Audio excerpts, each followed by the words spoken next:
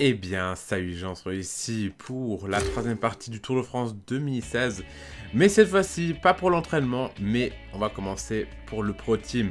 Donc, euh, bah aujourd'hui, Pro Team. La semaine prochaine, il y aura 2-3 vidéos du Pro Team encore. Et puis après, on va commencer le Tour de France 2016 avec l'équipe que vous avez choisie. Donc, euh, bah, le sondage est toujours ouvert. Vous pouvez aller voir sur le lien dans la description.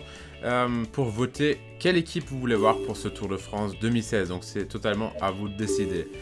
Donc euh, on va laisser professionnel parce que moi perso je suis amateur mais on va laisser professionnel. Sinon c'est trop simple je pense. Et champion de toute façon on n'en parle même pas. Allez professionnel c'est bon. On y va donc bienvenue en pro team. Donc on a déjà plus ou moins euh, vu le texte la dernière fois pour l'entraînement. À la fin je vous ai déjà montré un peu. Donc chaque saison, choisissez un sponsor et respectez ses exigences pour euh, constituer votre équipe. Euh, donc là, il faut choisir le sponsor et tout. Et après, euh, bah, plus on, a, on gagne des choses, plus bah, le sponsor est content, plus on va trouver des meilleurs sponsors. Comme dans la vraie vie, j'ai envie de dire. notre équipe. Alors, on va l'appeler... Est-ce que Live Gaming FR, ça va passer si jamais ça passe pas? F, R. Oui, ça passe. Nickel. Ok, donc là, il y a... Euh, visiblement, ça, c'est les sponsors. Donc, pour l'instant, on a seulement débloqué euh, Focus et Cyanide Studio. Donc, euh, les créateurs du jeu. c'est super. Nickel. donc, du coup, bonus sponsor jeune, 100% super combatif, 100% de bonus sponsor. Donc je sais pas exactement ce que ça sert les, bonus sponsors parce que ça c'est une nouvelle chose qui sont rajoutées maintenant pour le 2016. Euh, mais on va bien trouver un truc qui va nous plaire je pense. Euh, écoutez on va commencer par Focus. Non? On va prendre Focus. Allez, on va prendre ça. Euh, du coup, là, on peut choisir les deux. Ah, d'accord. Et là, on voit donc euh, les deux focus. Et si on prend cyanide, je veux voir. D'accord. Donc là, on a en effet aussi les, choix des trucs. On a bien fait de prendre le focus parce que je trouve que c'est plus beau. On va prendre celui-ci. Allez. Euh, ensuite, euh, on se fait notre petite équipe. Pour l'instant, on commence avec 260 000 euros. Donc niveau euh, meilleur cours, on peut tout de suite l'oublier. Il y, a écrit M qui tue. C'est Kittel normalement? Ah ouais d'accord, il y a les vrais noms euh, pas au présent quoi. Mais c'est pas grave, on va, faire avec. Je vais, je vais dire les noms comme d'habitude euh, qui sont dans le jeu. Je vais pas dire les vrais noms parce que sinon on va, ça sera tout... Bon, on peut aussi choisir les noms, je sais, on peut changer le nom de... Peut-être je vais même le faire parce que peut-être, euh, par exemple, les, les, importants quand même, par exemple, euh, Kittel et tout, c'est quand même chance, il faut dire qui tue à chaque fois. Parce que s'il tue, euh, c'est pas bon. Je sais pas si vous avez compris la blague, mais de toute façon, elle était pourrie, donc vous avez rien loupé. Alors, qu'est-ce qu'on va faire là? On va...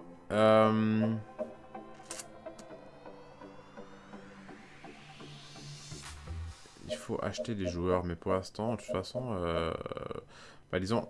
Donc là, c'est des sprints. Mais c'est quoi la différence entre ça et ça? Ah, parce qu'il... Ah, ok, ok. Parce qu'il faut en choisir un. Ah, d'accord. Ok, bah, j'ai totalement compris. D'accord, d'accord. Polyvalent, ok. Donc, pour euh, notre euh, grimpeur. Voilà, donc on va commencer par le grimpeur. Ok, donc on va plutôt chercher par le bas parce que disons Quintana et tout, euh, Contador, Nibali, Pinot, euh, on va pas pouvoir les acheter tout de suite. Euh, qu'est-ce que vous en pensez si on se fait une équipe euh, française là Pour commencer? Bon, vu qu'on choisit seulement vraiment un grimpeur, je pense qu'on peut se permettre un bon. Enfin bon. Euh... C'est jamais. Donc attendez, euh, celui-là, j'ai pas vu les, les, prix là. Euh, ok, 27. Ah mais c'est pas... C'est pas par prix en fait.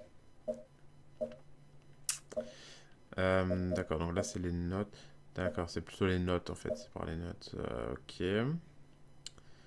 Donc si on se prend par exemple l'espagnol ici, Zanda.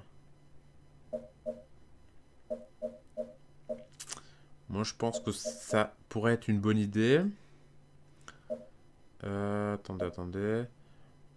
Parce que là par exemple le français là il coûte 27 000.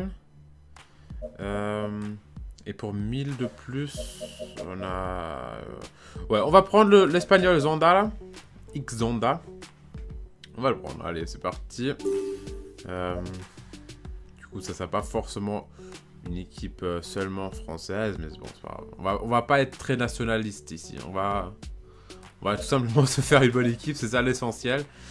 Ok, donc maintenant, euh, c'est Vallon. Donc on peut choisir deux Vallons. J'espère au moins que j'ai bien compris le truc, parce que si je suis en train de faire n'importe quoi, c'est pas bon du tout. Donc là, il y a Bin... Bidar, par exemple. Euh, bon, par contre, faut faire gaffe, parce que là, déjà, on a choisi un grimpeur assez cher quand même. Donc du coup, ce qu'on va faire... C'est déjà acheté un euh, coureur vallon pas trop trop nul non plus. Hmm. D'accord, ça va jusqu'à là. Donc le meilleur là c'est Urde. C'est un français.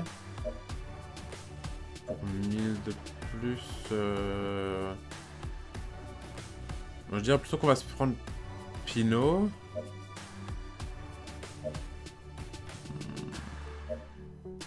Ouais, enfin, ils sont même pas si chers que ça, en fait, ça, ça va. Par exemple, si on voit le polonais, là, lui, par exemple, il est super cher. Donc, euh, franchement, tout va bien. Tout reste raisonnable. Donc, moi, je dirais qu'on va prendre lui, là. Urde. Urde, Urde ou Urde, je sais pas. Mais on va déjà faire euh, ça. Et du coup, on va choisir un deuxième encore. Euh, exactement comment on va faire euh, ça bien, mais disons là on est, on a encore 200 000. On a encore 200 000, on a encore 6 coureurs à choisir. C'est pas... Ah d'accord, en plus il y a les caractéristiques encore euh, juste à gauche, j'avais pas encore euh, totalement remarqué. Mais donc là on va se calmer un peu. On va, prendre quelqu'un qui est pas trop trop cher là. Même après, s'il est nul... Euh, déjà, attendez, on va, on va choisir un sprinter dans un premier temps. Un petit sprinter, là. Un petit sprinter qui est pas trop trop mauvais et qui tient quand même le coup euh, en montagne aussi, plus ou moins. on cherche déjà trop loin.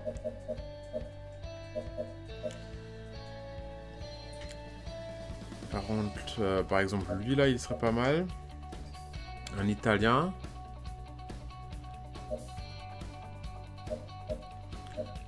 Qu'est-ce que vous en pensez de cet italien ici?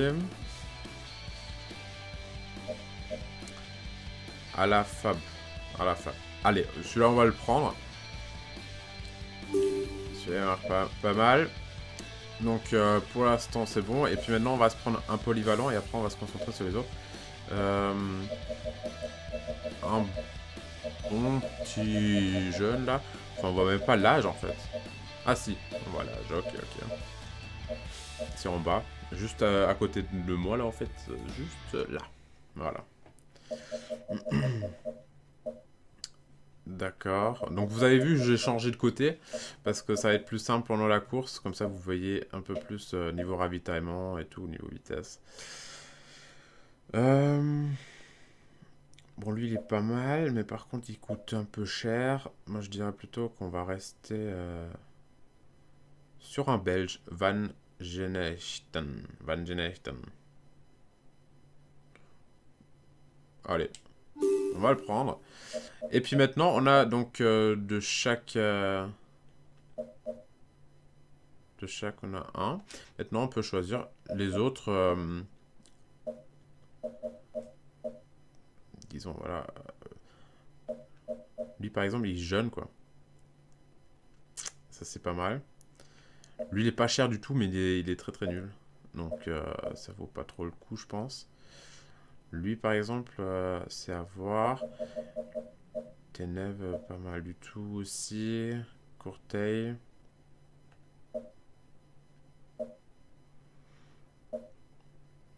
Il y a un Costa, un Portugais. Celui-là, euh, niveau rapport qualité-prix, il est pas mal du tout, mais par contre, il est vieux. Il a 31 ans. Donc, euh, je sais pas si l'âge compte beaucoup. Mais allez, on va, on va se prendre un vieux. Je sais pas si c'est une bonne idée, mais on va se prendre un petit vieux, un, portugais. C'est... Euh, enfin, 31 ans, après, c'est pas non plus la mort, mais dans le sport, c'est quand même toujours un peu problématique, euh, l'âge. Donc là, euh, qu'est-ce qu'on se prend là encore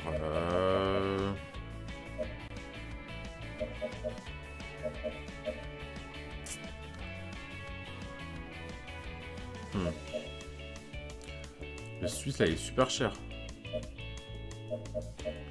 J'aimerais bien me prendre un, jeune, là, encore. Par exemple, lui, là, il, est, il a 22 ans. Un Autrichien. Mühlberger. Allez, on va le prendre, celui-là, encore. on a encore 100 000.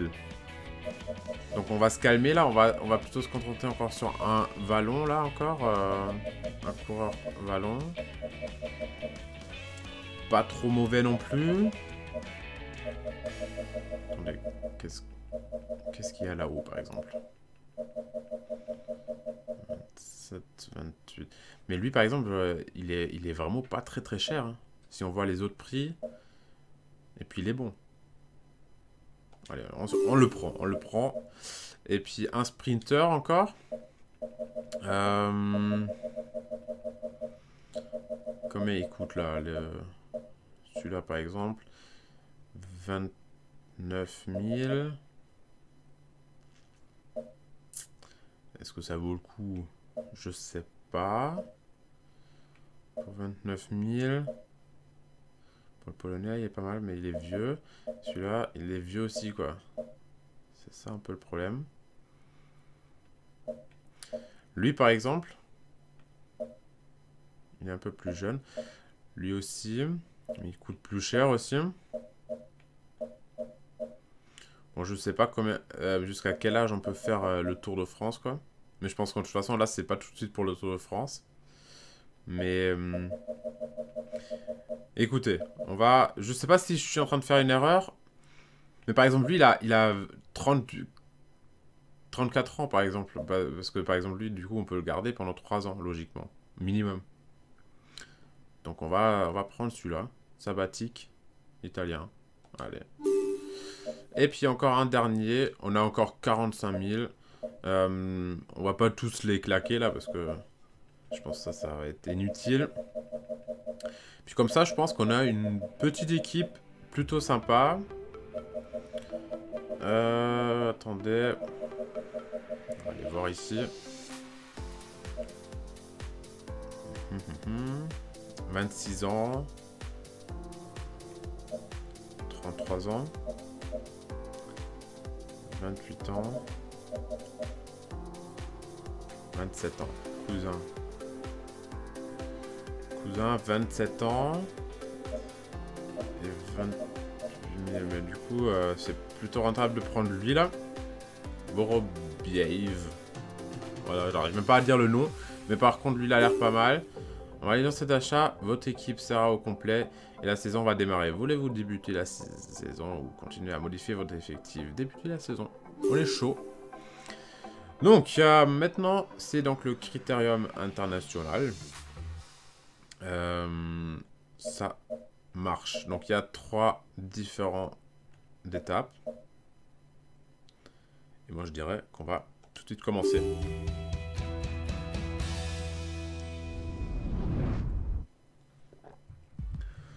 Voilà. Donc maintenant, on y est.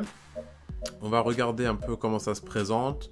Donc il y a un petit grimpeur catégorie 4 à son début. Après, il y a le sprint, le ravitaillement de grimpeurs et le sprint final. Et tout ça en 90 km. C'est parti. Ok, donc... Euh, faut se fixer des objectifs. Ah merde, j'ai même pas regardé les objectifs. Moi, je moi je suis dans mon autre délire. Moi je voulais me fixer moi des objectifs, mais il y a des objectifs à prendre. Euh, malheureusement, je les ai pas vus. Donc du coup c'est un peu chaud. Mais peut-être on a encore l'occasion de... De voir les objectifs. Non, peut-être plus trop. Peut-être ici. Non, non plus. Ok, bon, c'est pas grave. Bah, du coup, euh, ah bah, il y a les objectifs de coureur, quoi, mais pas l'objectif euh, pour cette saison. Mais disons, je pense que c'est un peu adapté. Donc, finir dans les 20 premiers de l'étape. Ok, donc ça, c'est les deux là pour l'étape. Et puis... Si on peut choper encore quelques... Mais je pense... C'est même pas la peine d'essayer de, choper des points au, au grimpeur là, parce que ça va être trop difficile pour nous. Je pense. On verra. Allez, c'est parti. Mesdames et messieurs, bonjour. Pour cette étape tracée en circuit, il y a fort à parier que les sprinteurs feront tout pour passer la ligne d'arrivée en tête lors du deuxième passage après Kojo, terme de cette étape de plaine. Ah ouais, mais c'est vachement bien fait. Il y a maintenant le, la voiture de sécurité. Et par contre, là, les gars, je suis devant. Abusez non plus. Attendez, attendez. Moi, je vais me laisser retomber un peu dans le peloton. On va y aller calmement, proprement dans cette euh, saison. Et du coup, ça nous fait un petit entraînement aussi pour le pour la saison 2016. ça attaque déjà. Avec, euh, bah, justement, comme je dis à chaque fois, l'équipe que vous allez choisir dans le sondage. Donc bah pour l'instant, on peut vraiment y aller calmement, proprement. Il y a déjà des gens qui attaquent, mais vu que on n'a pas vraiment euh, une équipe de malades, on va, on va vraiment le faire tranquillement.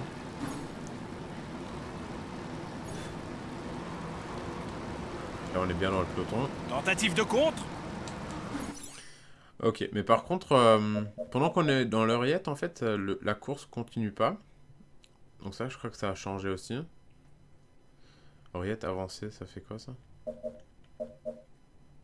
Ah oui, d'accord, ça avance dans le truc. Ok. Ça marche. Et puis donc là, on peut faire aussi avance rapide. Qui a changé aussi. Je trouve ça assez marrant. Ce qu'on voit en même temps. Et ça, c'est bien parce que normalement, ça faisait dans le chargement. Donc là, on peut faire avance rapide parce que du coup, il va rien se passer. Voilà. La première côte de la journée est classée en quatrième catégorie. Il y aura donc un point à marquer pour le classement de la montagne. Donc pour l'instant tout va bien. Il faut penser éventuellement de prendre le, euh, ravitaillement au bout d'un moment.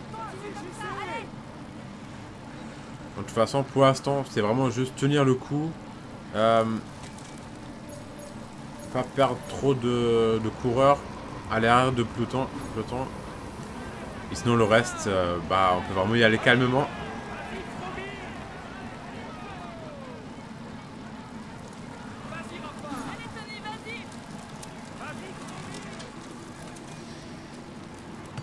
Il a une bonne pointe de vitesse, mais encore faut-il qu'il arrive à passer les bosses pour pouvoir s'exprimer.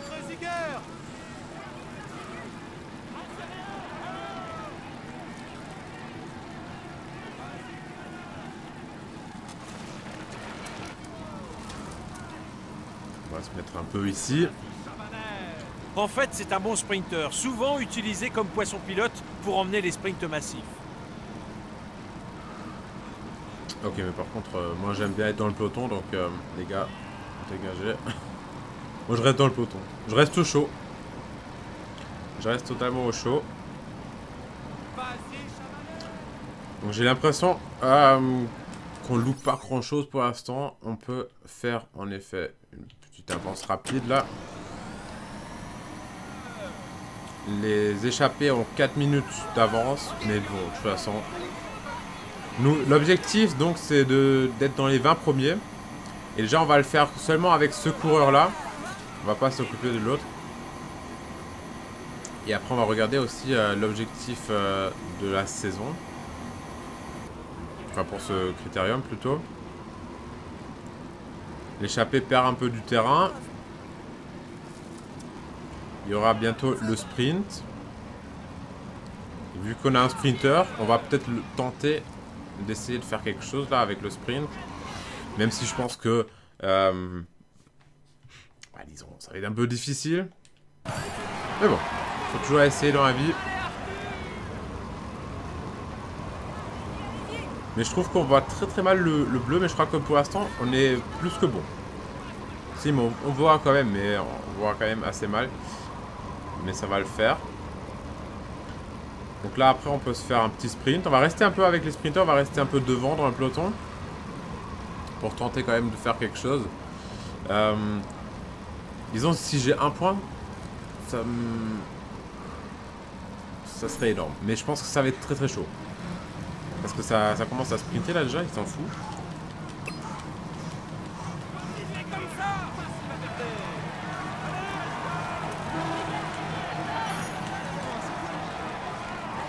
Allez. Est-ce qu'on a eu des points?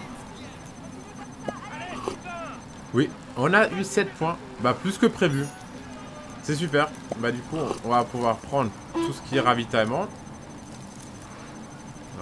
Voilà. Donc maintenant, les ravitaillements sont un peu plus longs. Les équipiers se sont placés en tête de peloton. Ils vont sûrement gérer l'écart pour finir au sprint. Mais par les coureurs entrent maintenant dans la zone de ravitaillement. Ils vont pouvoir récupérer de quoi s'alimenter. C'est mieux fait, je trouve, maintenant. Avec les pourcentages, parce que maintenant, on n'est plus obligé de prendre tout le ravitaillement d'un coup. Il faut vraiment en prendre un peu si, si on veut. Et ça, c'est très très bien. Stratégiquement, c'est vraiment un avantage. Bon, et maintenant, je pense que tout ça, ça va se calmer.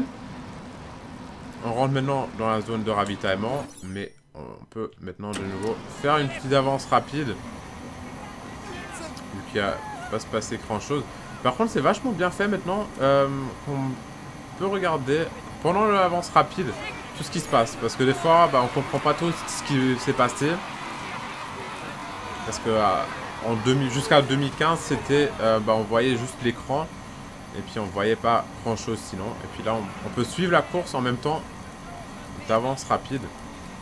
Donc là il y aura une petite descente. On va la faire celle-là. Voilà. Les hommes de tête ont encore de la ressource. Ils accélèrent le rythme pour tenter d'aller au bout. L'écart diminue les gars. Le peloton devrait jouer la gagne. Ouais bah deux minutes ça va être chaud à tenir pour eux. Pour l'échapper. Par contre, j'aurais pas pensé qu'on a quand même eu 7 points encore pour le sprint. Ça, c'est quand même très très bien. Pour commencer tranquillement. Et puis pour l'instant, on a vraiment de la ressource encore. Le dernier classement du meilleur grimpeur approche. Après cette ultime bosse de quatrième catégorie, il restera une vingtaine de kilomètres avant l'arrivée. Par contre, ce que j'ai pas regardé, c'est que est-ce que euh, c'est à nous de donner du ravitaillement à tout le monde? Ouais, je pense que oui. Euh, normalement, si on reste, euh, si on fait deux fois carré, ça doit sélectionner tout le monde, mais visiblement ça ne veut pas. Donc là, on peut, par exemple, donner du ravitaillement pour tout le monde. Ouais, c'est ça. Mais euh, pour l'instant, je pense pas qu'on va le faire. On va plutôt le faire à la fin du circuit. Bah du coup, on peut avancer encore un peu.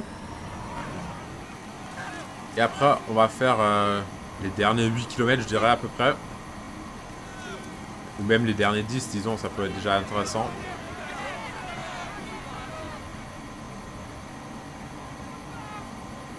Voilà.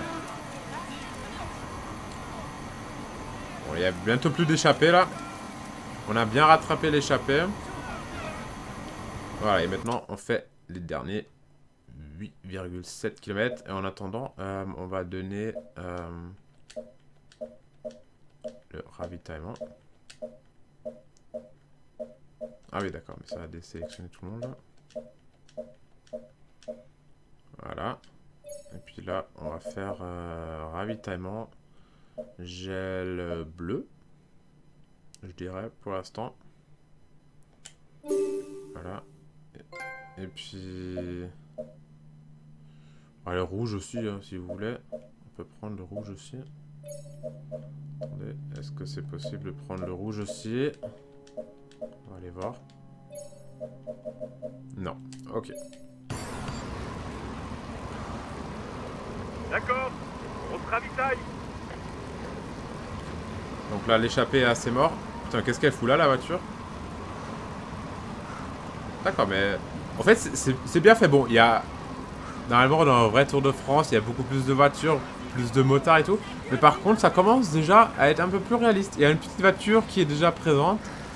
Et, et ça, j'aime bien. Franchement, c'est... En général, moi, j'aime bien tout ce qui est autour aussi parce que... Par exemple, c'est comme pour du Formule 1, si... Euh, donc là, on peut prendre le gel rouge, c'est bon. On va le prendre. Euh, S'il y a la voiture de sécurité et les... tout ce qui est au stand et tout, euh, moi j'aime bien tout ce qui est autour euh, dans les dans les jeux de sport parce que ça fait partie du sport. D'accord, on se ravitaille. Et puis, bah même par exemple cette voiture là, cette voiture rouge, elle fait partie aussi. du sport. Plus que 5 km. On se dirige vers un sprint massif. Merde, euh, je vais pas faire ça, je vais faire ça. On va se ravitailler au bleu un peu. Et puis, euh, assez vite au rouge aussi, parce qu'en fait, on est déjà allé à la, à la fin. En fait, le ravitaillement, j'aurais dû le prendre un peu avant. Plus que 3 Allez, km et c'est un peloton groupé qui va se disputer la victoire. Allez. On va attaquer après. On a encore 2 km. Disons, l'objectif, ça reste d'être dans les 20 premiers. Pour l'instant, ça se peut. Mais vous allez voir maintenant, ça va être assez impressionnant. Il y a les bons sprinters qui vont assez vite filer là. Ok, à 1 km maintenant, peut commencer. Dernier kilomètre. Pour l'instant, on reste avec eux. Allez, pas de défaillance. Tiens le coup. Ok, là il a du mal, là il a du mal. C'est une troisième place Mais c'est une troisième place Est-ce que c'est vraiment une troisième place? Moi je veux voir euh, la preuve là. Bon, après ça dépend aussi de reste de l'équipe. On a vraiment juste se concentrer sur euh, sur un mec. Vous voulez sauvegarder votre partie Oui. Putain, tous les... Comme sur, les roulettes. Ok, donc en effet, c'est une troisième place pour Sabatic, notre euh, Italien. Ce qui est plutôt pas mal. Pour le premier euh, circuit qu'on fait là, directement une troisième place. Ensuite, il y a Alafab euh, 12e, 17e, 22e. Bon, en général, c'est pas mal du tout. Euh, du coup, là, vous voyez. On a juste eu un qui a fait 45e. Et sinon, euh, tout va bien. Très très bien. Moi, j'aurais pas pensé que directement au premier, euh, dans la première étape comme ça, du critérium, on va faire ça. Mais c'est bien. Ok, mais du coup, sur les autres trucs, on n'a rien fait. Mais par contre, on a eu 27 points quand même pour Sabatic, pour euh, le maillot vert. Les jeunes, on a encore... euh, bah, on a Mulberger comme jeune. Je crois que c'est le seul, ouais. D'accord, on a juste un jeune. Et ensuite, euh, on est première équipe. C'est étonnant ça quand même. C'est très étonnant. Ok, d'accord. C'est c'est bien. Ok, super. Bah, première étape, du coup, super réussi. Euh, du coup, on peut voir maintenant. Vient dans les 20 premiers, ça on a réussi. Euh, pas de bonus d'équipe. Entre chaque étape, vos coureurs récupèrent de l'énergie selon leur note de récupération. Ça marche. Ok, donc là, on va voir le budget. 17 000. Le budget, nouveau budget, 30 800. Ok. Donc on a eu 13 400. D'accord, et 100 pour le classement de points de l'étape. Et que 300 pour euh, classement par équipe de l'étape? C'est tout? Non, mais c'est même- on était premier. Après, je dis ça, je dis rien. Donc, euh, ah ben en fait, maintenant je vois en fait le bonus jeune, c'est que il nous rajoute 100% de l'argent si, on est, si on place bien les jeunes, en fait.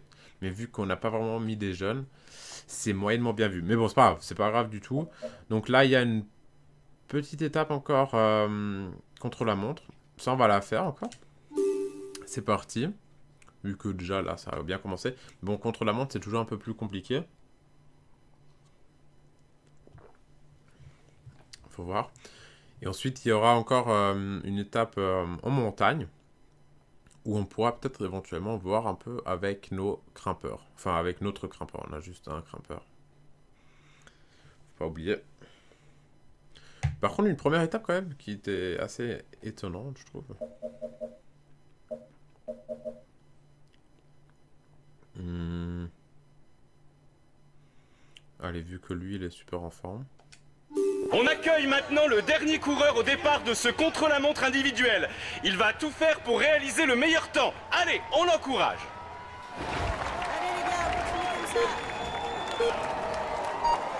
Allez, c'est parti. Bon, en général, je me loupe bien pour les pour les contre-la-montre. Au bout de la ligne droite, tu vas devoir tourner à droite. Peut-être ça va changer cette année, mais je pense pas. Le mec déjà, il n'arrive pas à se motiver quoi, c'est déjà mauvais signe. Mais franchement en général, j'ai plutôt du mal. Euh. Ça tourne bientôt à gauche. Avec la bonne trajectoire, tu peux passer sans freiner. Allez, allez Voilà. On va passer sans freiner. T'as réalisé le meilleur temps intermédiaire. Allez, allez, continue, tu joues la gagne. Ok, pour l'instant. Mais ça, c'est pas bon signe en fait. Allez, allez, tourne bien les jambes. Ça, c'est pas bon signe. Si on fait le meilleur score euh, pour le premier truc, ça veut dire qu'on est. Allez, beaucoup trop vite. Enfin, je pense. Non Après la flamme rouge, ça tourne à droite et c'est l'arrivée. Allez, allez, on s'accroche. Bah, pour l'instant, on a encore de l'énergie. Ça, ça m'étonne un peu là. Ah non, fait, non. Pour la fin, on a du mal là. Allez, à fond jusqu'au bout. Bah, à fond, euh... on a une petite défaillance, mais bon, pour la fin, ça va. Mais on les fait. On est un peu allé trop vite pour, pour le début. On aurait encore un peu plus de réserve pour la fin, normalement. Mais bon, c'est pas grave. Euh, maintenant, on va aller voir le score. Mais je vous ai dit, de toute façon, moi, contre la montre, c'est comme euh, Formule 1 à Monaco, euh, c'est pas trop trop mon truc. Donc, euh, on était... Je crois que c'était lui. 12ème Bah ça, ça va. Franchement, si, si c'était notre score, 12ème, ça me va. Ok, bon. Bah ça, c'est bien. Pour l'instant, ça se pose plutôt bien, là. Du coup, ça nous fait une 12ème place pour lui. Mais je crois que c'était pas lui qu'on vient de faire. C'était quelqu'un d'autre. Euh, ça m'étonnerait quand même. Parce qu'avec une défaillance à la fin, c'est quand même à éviter à tout moment, normalement. Mais bon, c'est pas grave. Pour l'instant, je connais pas encore totalement les noms. Mais parce que je crois que dans la première étape, on avait pris sabbatique. Et puis là, c'était euh, le croate. Donc, euh, voilà. Mais du coup, j'ai même pas regardé en fait où on était. Il faut quand même aller voir fait. Attendez, attendez. Euh, est-ce qu'on peut voir où est-ce qu'on se trouve sabbatique euh, Ok, bon, centième à peu près. 95e. C'est pas super, j'avoue. Mais c'est la vie. Ok. Euh, suivant, voilà. Et ça récupère. On a un peu d'argent. Euh, heureusement, il y a le Croate qui a fait un bon score là, parce que sinon on serait un peu de la merde. Mais du coup, ça se présente bien. Bon, maintenant, du coup, avec l'Italien, on a perdu quand même pas mal de place. Mais maintenant, de toute façon, on va se concentrer un peu sur les grimpeurs. Parce que peut-être on va choper quelques points euh, dans l'école. Mais par contre, ça sera la prochaine fois. Et la prochaine fois sera euh, mercredi. Mercredi à 17h, on va se retrouver pour la suite du mode Pro Team sur Tour de France 2016. Si vous avez des conseils à me donner, dites-le moi. Voilà. Euh, vous avez encore euh, quasiment une semaine pour me donner des bons conseils avant qu'on va commencer le vrai Tour de France 2016 avec l'équipe que vous pouvez choisir justement encore jusqu'à ce dimanche, enfin le dimanche prochain, euh, donc dimanche dans une semaine. Comme ça, à partir de lundi dans une semaine, on va commencer le Tour de France 2016 avec l'équipe que vous choisissez. Voilà, donc sur ce, salut Jean, et à très très bientôt pour la suite du mode Pro Team. Et puis demain à 17h, on va se retrouver pour du Uncharted 4. On se rapproche dangereusement de la fin. Et puis donc mardi, il y aura encore la suite d'Uncharted. Euh, donc je regarde parce qu'il y a ma feuille juste en bas. Euh, mercredi, justement pour la suite du Tour de France Pro Team. Ensuite, euh, vendredi pour Uncharted encore. Et Tour de France samedi. Et ensuite, le dimanche, Uncharted de nouveau. Et après, on va se faire une semaine complète du Tour de France 2016. Voilà, donc sur ce, salut Jean et à très bientôt.